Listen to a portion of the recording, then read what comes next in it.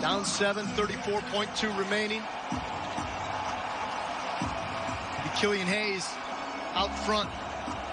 Wayne Ellington had a shot. Now he's got a better look at it. On six of their last eight possessions. Let's see if it's Don time. He's hit back-to-back buckets.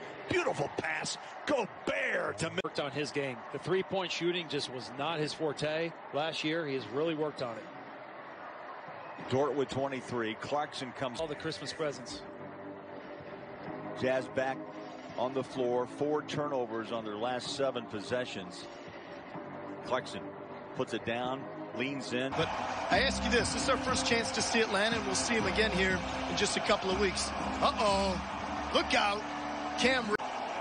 I'm not happy if I'm the Pistons with the drives being allowed for Rondo. Again, reluctant shooter, doesn't really want to hoist from the outside.